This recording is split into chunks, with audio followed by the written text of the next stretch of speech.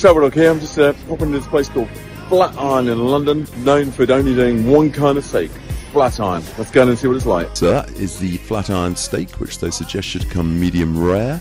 And that is the béarnaise sauce. Then you've got the truffled macaroni cheese, which was absolutely stunning, frankly.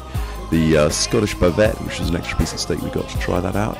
Um, uh, peppercorn sauce, my friend's Flatiron steak, the crispy bone marrow garlic mash, which was actually tasty as well. Uh, cream spinach, vine, homemade beef dripping chips. One of the fun things about this place is you have a chopper as a knife. Um, so yeah, we chomped it up. Um, I would say the Flatiron itself was super soft and mega tender, but not super flavourful. Um, whereas that Scottish bavette was really super rich and dreamy, much, much more flavour. Um, mad, crazy fun place. Ice cream at the end, popcorn at the beginning. Definitely worth going there.